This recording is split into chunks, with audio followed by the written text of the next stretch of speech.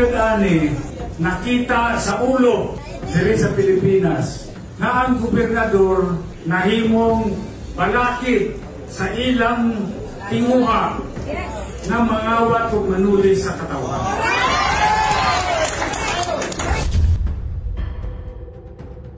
Usap-usapan ngayon sa mundo ng social media ang biglaang preventive suspension order kay Governor Edwin Hubahib na kaalyado ng mga Duterte sa Davao City. Ang utos ay galing mismo sa Office of the President. Gobernador ng Davao del Norte sususpendihin ng 60 days. Ito daw ang matapos na payagan o bigyan ng permit na magsagawa ng prayer rally ang mga maisug sa Davao del Norte. Kanina isa-survey na sana ng mga pulis ang suspension letter para kay Davao del Norte Gov Edwin Hubahib. Pero hindi nagtagumpay ang mga pulis at Dilgi na pumunta sa Kapitolyo dahil hinarang sila ng mga taga-suporta ni Kuya Gov. Ayon pa sa mga tao na pumalag sa ginawang pag-serve ng Dilgi at mga pulis ng suspension letter, idaan nyo po sa due process, hindi yung bigla nyo na lang suspendihin ng 60 days. At ang masaklap pa ay agad na pinaupo ng DILG ang Vice Governor ng Davao del Norte na si De Carlo Oyo Uy. Hindi ito ikinatuwa ng mga taga-suporta ni Kuya Gob Edwin Hubahib. Dahil ayon pa sa kanila, due process sana. Ito na nga ba ang sinasabi nilang silent martial law? Dito natin makikita kung gaano kakapal ang mga mukha ng mga taong gahaman sa posisyon. Malapit na ang 2025, bakit hindi na lang sila maghintay? Ito na ba ang bagong hustisya sa Pilipinas? Nagbigay naman ng komento ang influencer Joey Cruz, sabi pa aniya. Remember the Mindanao flooding earlier this year? VP Anday Sara immediately checked and sent help to Davao del Norte and other affected areas during this time. Wala nang request-request tulong agad. Gov Jubahib was very thankful It was this moment that Fov Jubahib further exposed the strong padrinohan in Marcos administration. I am very sure that after this disaster briefing, markado na siya. He was like Alfred Romualdez of Yolanda except that siya ay gagantihan pala ng Marcos admin. True enough, few days before the Maisug rally, suspended na siya for no apparent reason. Kunwari di naman alam na ayaw nyo sa kanya kasi maka Duterte. Paki-explain Broad Benhur Abalos. Tila lahat ng kasangga ni VP Sara Duterte ay isa-isang nililigwak ng Marcos admin. Nauna na riyan si Pastor Apollo Kiboloy. Pangalawa si Gov Edwin Hubahib.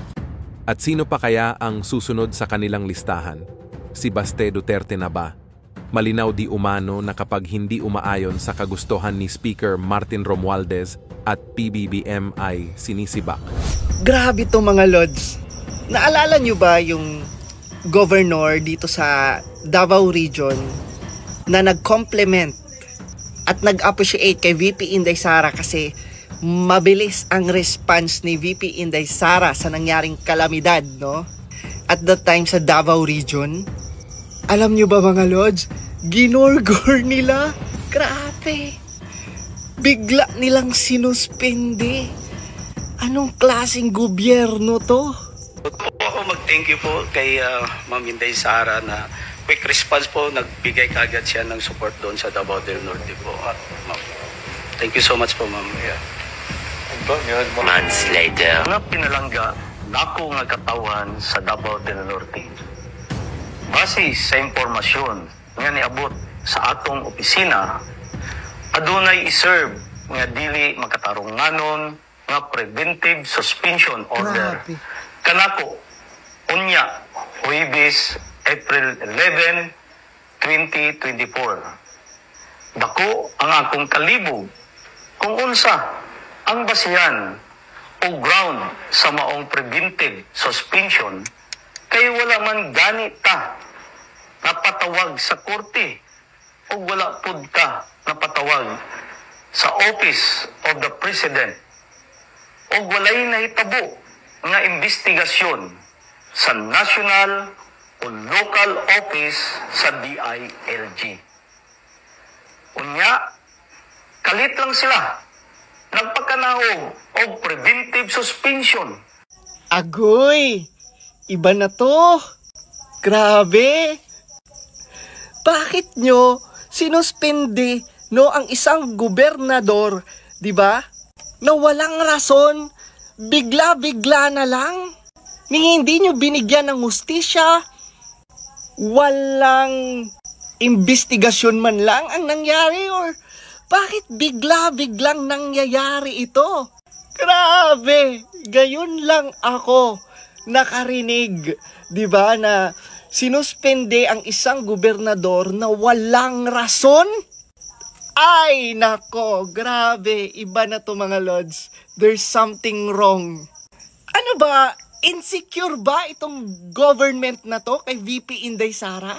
Bakit nyo ginugurgur? Lalo na yung gobernador na naging honest lang naman siya at sinabi lang naman niya na si VP Inday Sara ang pinakaunang nag-rescue, 'di ba? Doon sa Davao region.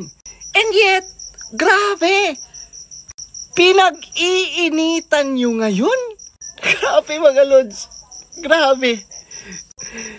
Hindi ko ma-imagine bakit nangyayari itong mga ganito?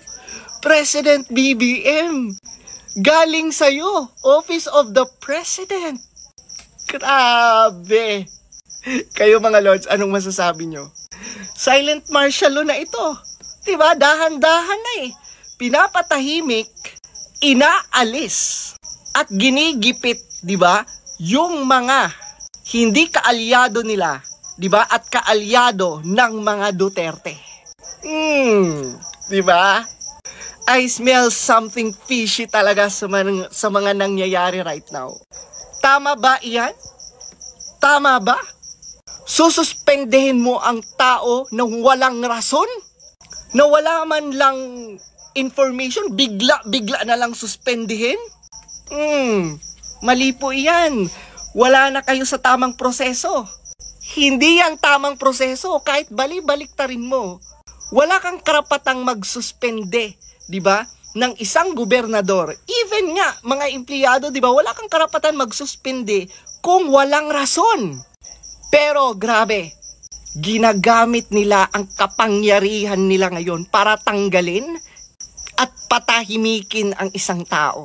Pati gobernador oh, na kaya nila, tayo pa kayang mga ordinaryong Pilipino. Nakakatakot. Grabe. And this is the perfect example of dictatorship. Diktador na! Grabe, diktador. Uh, meron pa palang sinabi si Congressman, dating Speaker Alvarez, Congressman Alvarez, Pantalion Alvarez. Sabi nga niya dito, gusto rang isuspinde si Governor Hubahib dahil balakid sa pagnanakaw sa kaban ng bayan. Ah, makonsider po natin yun. Ta- talagang ah, parang ganun ang direksyon dahil ako po dito ang naging ah, fiscalizer sa lahat ng ah, kalukuhan na ginagawa dito sa grupo na to. Dahil ah, itong grupo na to, tulad nung bago, 'di ba, bago lang kami nakaranas ng matinding ah, pagbaha. Then ah, ah, yung ECT, yung emergency cash transfer na pera galing sa DSWD, doon din dinadaan dito sa Vice Governor na ito. Ito kay Vice Governor Uyuoy. Dito din silang nagka-partner ng DSWD national. Kahit may complaint na ako na scam laban sa kanila dahil yung mga tao nila ang gumagawa ng pagbabawas sa ayuda. Nung sinabi ko kanina na 5,000 binawasan ng 4,000, 10,000 binawasan ng 9,000 at nadinig po ito sa Senate, sa committee ni Senator Bato. At lumantad po ang lahat ng ah, witnesses. Pero itong s- lahat na nangyayari, lahat na reklamo, pagdating sa ECT, cash transfer, yung emergency cash transfer galing sa DSWD, sila pa rin ang nagpa-partner. At ang nangyayari ngayon, yung mga totoong naging biktima sa baha, ay hanggang ngayon hindi pa nakatanggap, pero allegedly, yung pera na disburse na at ang nakatanggap yung mga political leader nila. Parang ang ayuda ginagamit lang sa iba at sa kanilang kapakanan para sa eleksyon. Opo. Yan. Siguro, opo, ah, bilang panghuli na lang, ah, Gov, ah, mensahe na lang po sa inyo pong mga constituents dyan po sa Davao del Norte At maging yung mga taga Davao del Norte nasa iba't ibang panig ng Pilipinas, iba't ibang panig ng mundo, and sa kabuuan na lang din ng mga Pilipino ngayon sa mga pangyayari pong ah, ito, Gob. Ah, panawagan ko po sa unahin ko po sa lahat ng ah, taga Davao del Norte ah, maging matatag po tayo. Huwag po tayong magpadala sa kanila.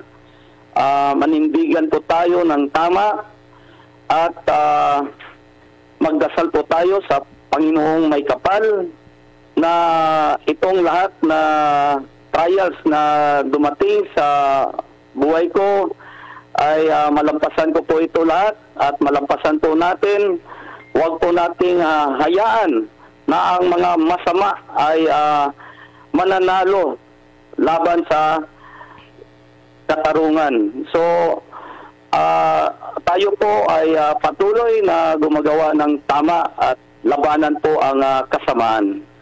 At para po sa buong ah, bayan, ah, pag-isipan po natin, buong Pilipinas, kung tama po ba itong ah, naging desisyon natin sa ngayon at ah, maging ah, ah, maging ah, maging ah, pag-aralan nyo po ang lahat na, na nangyayari sa bansa natin, ang sitwasyon natin. Maging vigilant po tayo dahil para po hindi kayo mahuli sa mga mga balita o anong ah, pang, pangyayari. Ano ba talaga ang ah, naging ganap na sa bansa natin? At sa mga mataas natin na leader, kung ah, sila po ba ay nasa lahat ng kanilang desisyon ay napo, nan, nandyan po ba sa tamang desisyon. Kaya po, ah, ah, huwag po niyong ah, hintayin at huwag niyo pong ah, hayaan na balang araw nagising kayo na ang laki na ng problema ng bansa natin. Isipin mo, nagpadala sila ng mga abot ng 200 ah, ka, ah, police ah, personnel para naman akong ah, talagang top wanted sa bansa natin. At nire-recall pa ang aking lahat ng security, PNP at ah, Army. May order pa. Oh, Ah, grabe ang ginawa nila. Operasyon talaga ito. Mas-consider ko operasyon tong ginagawa nila sa akin. Gov. Ah, ano po ang nakasaad doon sa suspension order na ah, isinilbi po kaninang umaga? Ah, nakalagay po doon na 60 days ah, preventive suspension Mhm. ah, dahil po doon sa ah, isang complainant na aking ah, board member na i-file niya noong ah, November 2022 and nasagot ko po yung uh, complaint na yon at ah, hindi na siya nag-reply parang wala na then ah, after that ah, ah, ngayon ginamit nila ah, laban sa akin Mm. Ah, yung kaso pala, ah, yung complaint pala na yun ay ah, tungkol doon sa kanyang ah, detailed ah, service ah, car. Mhm. Tapos uh, nirecall ko ng isang buwan para ipagamit sa engineering office Mhm. for survey kasi walang magamit at may sasakyan naman siya na yung ah, una niyang ah, issue. Mhm. So, after one month, binalik ko. So, doon siya nag-complain at ah, na, nasagot na natin yon Kumbaga, parang naging wala na yung uh, complaint na yun kasi from November, from November 2022, tapos yung sasakyan, ginamit na niya by December 2022 at dire-diretso. Parang naging tahimik na lahat. At, Ah, ah, y- yun lang yung lang, yun lang yung yun reason. lang po. Yun, yun lang po ang reason. Yun ang pinail nila sa Office of the President. At binabaan ako ng ah, binabaan ako ng order na preventive suspension for 60 days.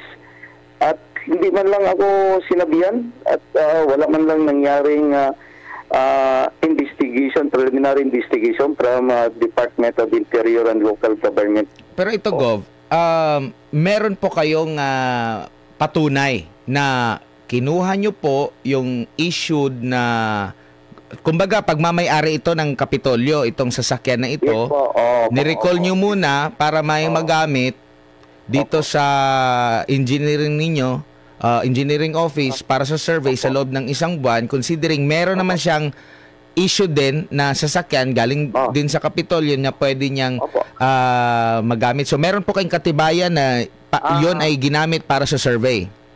Meron po lahat. Meron, kumplito po at ah, may receipt copy po tayo lahat. Mhm. At Pero yung ginagamit po sa engineering yan. ano bang klaseng sasakyan ito, Gob? Ah, pick up. Ah, pick up lang. Isuzu.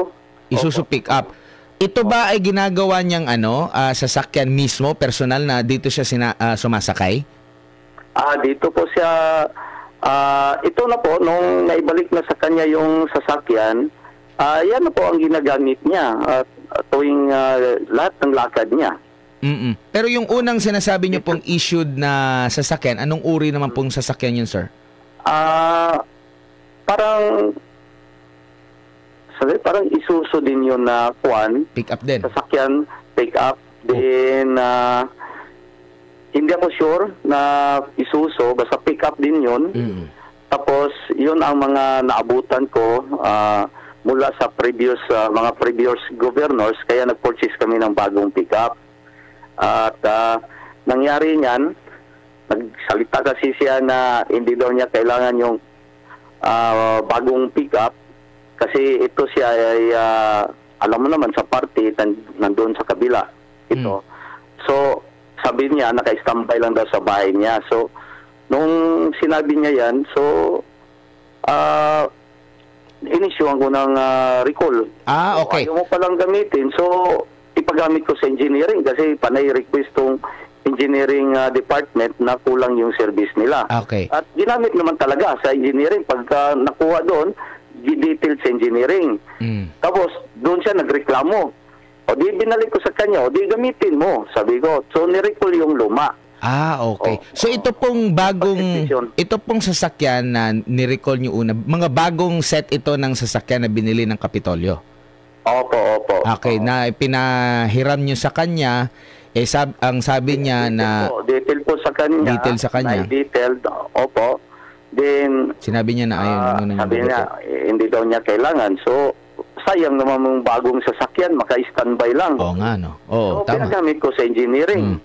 Noong nagreklamo na po siya na kailangan niya yung ah, sasakyan, ay binalik ko sa kanya at kinuha ko yung luma. Nirecall ko para isubmit sa GSO, PGSO, para magamit sa ibang mga nangangailangan na mga division, division head. Mm-mm. Pero ito, uh, Gov, after nun, kasi isang buwan lang eh, kung November yun naganap, December na ibalik na yung detailed na sasakyan sa kanya, um, nagkaayos na ba ka- kayo? Wala na bang mga usapan? Nagka, mabuti na ba yung uh, pakikitungo ninyo sa bawat isa? Ah, yes, naayos na. Mag nakikita kami, wala nang kwan, para wala na talaga, kinalimutan na lahat. Oh, yun ang nangyari. Mhm. And uh, ngayon po ba, mismo siya nanindigan pa rin na ituloy yung mismong uh, reklamo niya? Kasi umusa dito eh. Ah, Nakausap mo ba siya? Hindi, hindi ko po siya nakausap at ah, ito parang palihim po na ginawa nila sa sa side nila. Pero Itong ah, ah, complaint na to na sinubmit sa Office of the President. Pero kung pagbabasehan natin na Gov ang ah, issue po, sabi nga dito ng ah, kasi meron tayong mahigit 2,000 nanonood sa ating ngayong ah, panayama Gov. Ang sabi nga dito ng isang netizen si R Rayos, wa- grabe, walang kakwenta-kwentang issue tapos suspended ng ah, anim na pong ah, araw tapos na settle ah, pala. And ah, meron pong ah, ipina ah, ano sa inyo, ah, grave abuse ang sabi dito is ano eh, grave abuse of authority and oppression. Opo, yun ang ah, nilagay nila. At ah, siguro itong ginawa nila sa akin parang mas sobra pa ito. Mm. Kasi Yun nga. Kung pagbasihan yung ah, complaint at ang ah, ginawang decision, parang masyadong malayo naman po. Mhm. Meron ba kayong iba pang ah, iniisip na posibleng malalim na dahilan. Parang na- naalala ko tuloy, Gov, yung nangyari po sa SMNI. Ah, 'Di ba? Yes. Sa SMNI parang ang ang alam namin wala talaga kaming ginawang ah, mali. Parang hinanapan lang kami ng mali para may Ah. maipataw sa amin na suspension. Parang ganito yung nakikita ko sa nangyari po sa inyo, Gob. Ah, tama po, ah, ah, Sir Admar. Ang Hmm. nakikita ko po dito dahil unang-una, nung kinumbinsi po ako na ah, yung campaign ng ah, People's Initiative, ah, hindi po ako sumama at tumayo po ako nung ah, during sa Senate hearing na ginanap dito po sa ah, Davao City, Mindanao. So, tumayo po tayo, nanindigan tayo na ayaw natin ang People's Initiative dahil ayaw po natin na maabulis ang Senate para po ah, ah, mananatili na balanse ang ah, ating ah, decision making from ah, lower house to upper house.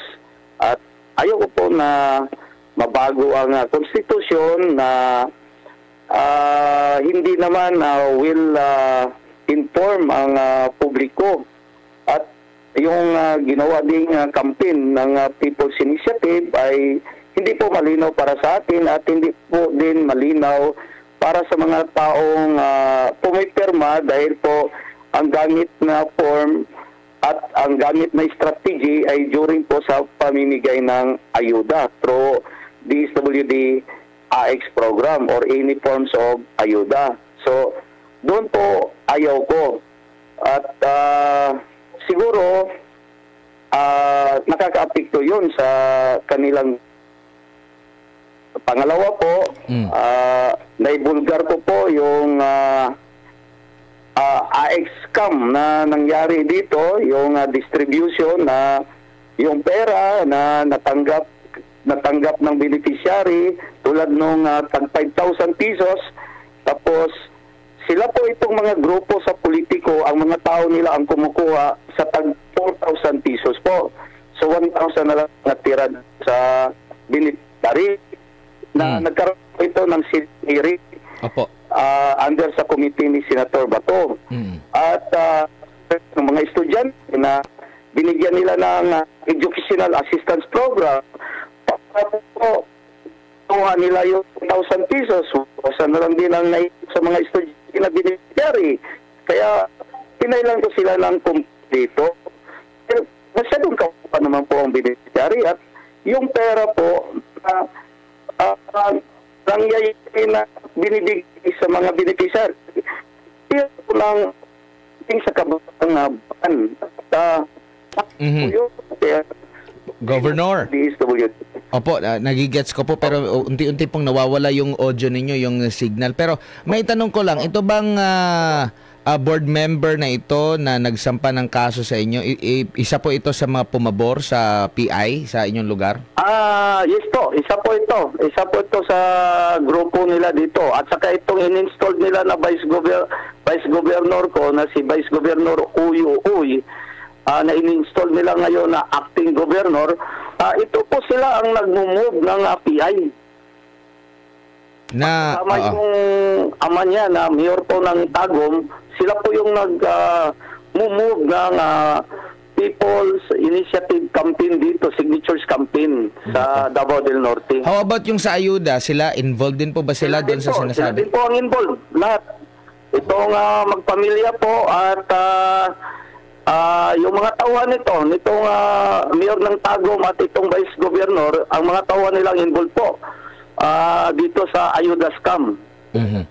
Pero ito po, Gov, basahin ko po yung naging ah, ah, statement naman ni Secretary Benher Abalos ah, hinggil nga po sa preventive suspension na ipinataw po laban sa inyo. Sabi dito, and I quote, kung pwede nating ma- malagay sa ano sa screen, We at the Department of the Interior and Local Government or DILG are addressing the recent decision to implement a preventive suspension against Davao del Norte Governor Edwin Hubahib. Governor Hubahib has been suspended for a period of 60 days by the Office of the President as directed by Executive Secretary Lucas Bersamin. This action follows the lodging of an administrative complaint, isa lang, complaint against him by various parties which raises concerns regarding the alleged misuse of authority, potential oppression, and the utilization of the government funds to advance the interest of a private company. We recognize the challenges faced by our officers during the implementation of this suspension order and we commend their professionalism and dedication in upholding the law amidst any resistance encountered. Meron pa siyang nabanggit dito, um, uh, Gob, na utilization of government funds to advance the interest of a private army, Ah. a private company. Ah, bakit po nasabi nila yan na ni sekretary na wala naman akong ginawa na yan? So, ibig sabihin, dinagdagan po nila. So kumbaga ang reklamo lang na alam ninyo na meron kayo sa Office of the President Ah. ay ito pong ikinwento nyo kanina. Opo, opo. Ah, so, sobra po yan. Talagang, ah, talagang ginagawa na nila na ako ng istorya para idiin ako Mhm. using their power. Mhm. Oh. Ano pong ah, mga hakbang na gagawin nyo po after ah, nito, um, ah, Governor, considering Office of the President na ito, DILG na po ang ah, nagpapataw sa inyo ng suspension? Ah, sagutin ko po ito lahat ah, by means of legal. Mm. Ah, mag-counter affidavit ako sa Office of the President. And ah, gusto ko may batas naman tayo at ah, may tiwala ko sa batas po natin. So, alam ko po ito ah, political motivation po to lahat.